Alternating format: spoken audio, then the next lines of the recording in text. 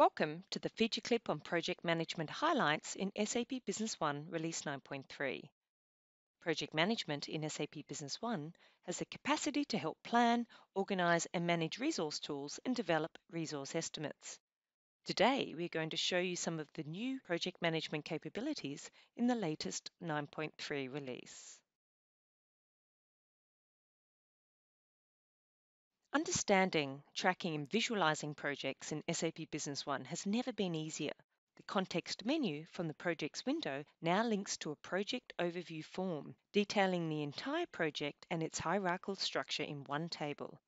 It also links to a new timesheet report form that clearly displays the link between projects and the time worked on the project by employee.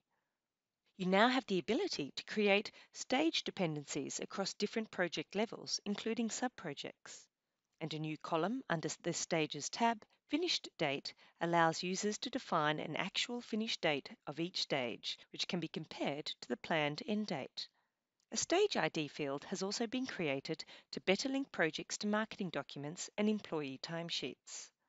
Under Documents and Work Orders section, a new chargeable tick box field indicates if a connected document line is chargeable to a customer.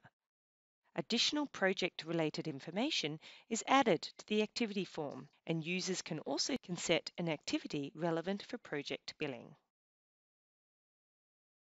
With regards to billing, a new billing document generation wizard allows users to recharge costs or bill a project. The billing wizard also collects open document lines and billable items connected to the project for invoicing. You can create an AR delivery or an AR invoice document based on the project data stored in the project management form. And the billing wizard ultimately streamlines the standard billing or milestone billing process and helps to improve efficiency. You also have access to a Gantt chart via the context menu in the project window, which allows you to visualize a project as a whole. This is all part of providing greater transparency and enhancing usability and increasing productivity when working with projects in the system. Here is an example business case scenario. Jason Butler from OEC Computers is managing a server and printer installation project for their customer parameter technology. There are three main phases of the whole project which have been created as sub-projects. James Chan from the purchasing department spends a day on site evaluating and planning equipment required for the project. A timesheet is entered into the system to reflect his billable hours. A meeting with the customer confirms the servers and printers that are needed to complete the first phase of the project. An AP invoice for printers is created and assigned to the relevant project code. The billing wizard is then used to collect all open document lines and billable items connected to the project for invoicing. The project overview and Gantt chart is then used to visualize and monitor the progress and status of the project. So let's have a look at this business scenario in SAP Business One Release 9.3. We are now logged in to SAP Business One as Jason Butler. A project has been created for the customer parameter technology for the installation of two servers and a series of printers. You can see under the project window that under the sub-projects, we have different phases of the project. We've got the server 1 installation, server 2 installation, and then phase 3 consists of the printer installation. If we drill down into the sub-project, for phase 1 for example, and under the Stages tab, you can then view the stages in detail and any stage dependencies, meaning you can define any dependencies across different subprojects to ensure they are completed prior to moving on to the next stage.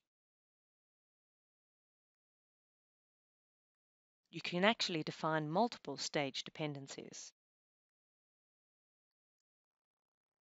We also have the ability to define a finish date to indicate when the stage was actually completed, which can then be compared to the planned completion date. One of Jason's employees, James Chan, has just spent the day scoping equipment requirements on site at Parameter Technology, and Jason would like to create a timesheet for this employee to record the billable hours. Under Human Resources, we open up the timesheet window. We then select the employee, We adjust the date to when the timesheet was effective and the date at which the work was performed. The start time, and then we simply enter the end time. you can also define an activity type. We are then going to assign the financial project that is linked to this particular timesheet activity. You can also define the actual stage of the project in which this particular timesheet activity was associated. So in this case, we're going to select the initial overall service and printer installation. We're going to show all the stages and we're going to select the planning stage ID. You can then select the labour type item that you would like to use from a billable perspective. And in this case, we're going to select the daily service labour charge. And now we're going to add this to the system. Under the project window and under the stages tab, we are now going to view via the context menu the timesheet report. So we simply right click and open up timesheet report we have got the ability to select a specific sub-project or stage that we would like to review the timesheets that have been assigned against these sub-projects or stages. From here, we can see the link between the project stages and also the recorded times billable by the relevant employees. A meeting with the customer is then scheduled to discuss and confirm the pending equipment purchase for the project. So we're going to create an activity. Under CRM, we select the activity window. And from here, the activity is going to be a task type activity.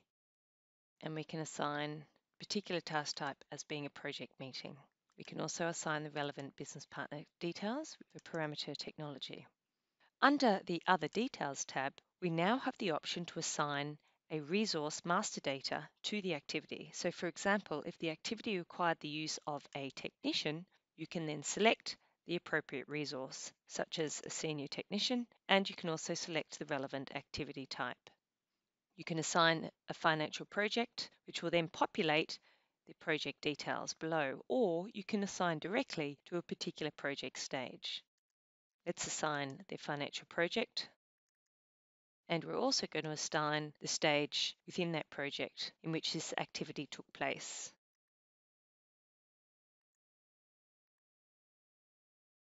And now we can add this activity to the system. The Stage ID field connects marketing document lines directly to the project stage. If we now navigate back to our project window and we scroll down to the Activities section, we can now see the project meeting that we've set up accordingly, and we can drill down into that project meeting and review the activity details. We are now going to create a purchasing invoice for the printers that are needed for the installation. So to do this, we're going to navigate to the purchasing menu, and then we're going to select AP invoice. We select our relevant supplier and the item details.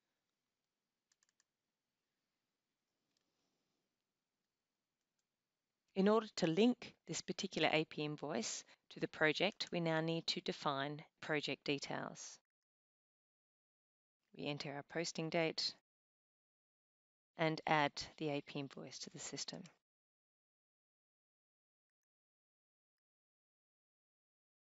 The system message comes up once we've tried to refresh our project window that says there are unassigned documents that exist in the system. Do we want to assign these documents to this particular project? And in this case, we do. So I'm going to click yes. And we can see under the document assignment window that the AP invoice needs to be assigned under a particular project stage. And in this case, I'm going to assign it under the first project stage under project planning.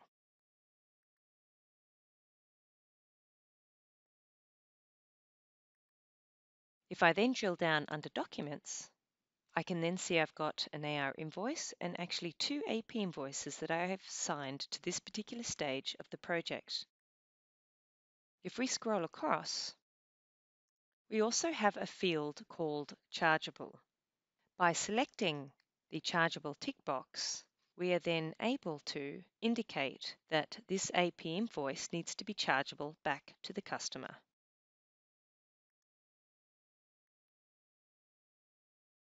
It is now time to run the billing wizard, which will then collect all open document lines and billable items connected to the project for invoicing. We're going to, in the lookup menu, we're then going to open the billing document generation wizard. From here, we actually want to create an AR invoice for our customer. You have the option to create an AR invoice or a delivery document. We then need to select the financial project details and the customer that will be receiving invoicing. We then select the stage in which we would like the billing wizard to collect the relevant document lines from.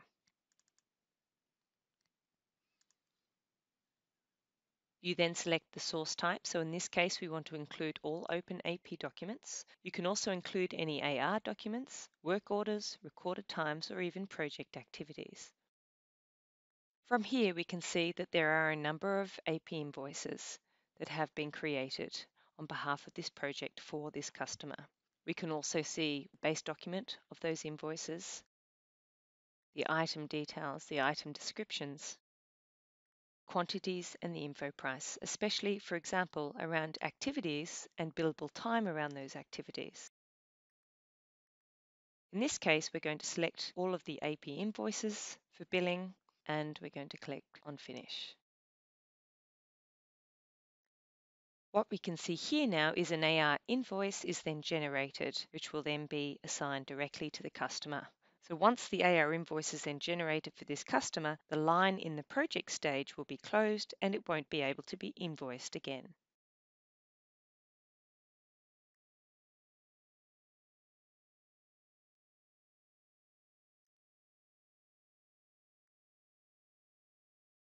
Now that we've created the relevant billings for that particular stage, we would like to gain an overview of the project. And to do this, we can simply right click on the context menu and select Project Overview.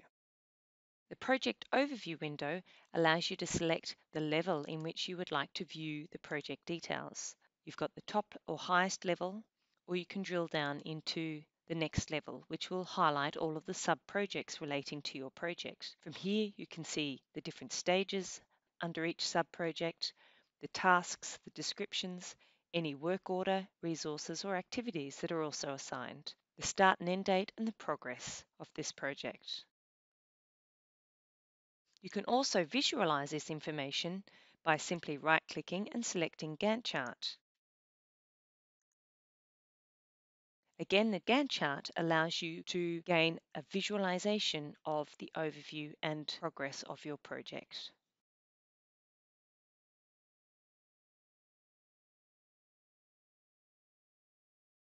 Well, this concludes our feature clip on project management capabilities. Thank you for your time and make sure you check out the other feature clips highlighting SAP Business One 9.3.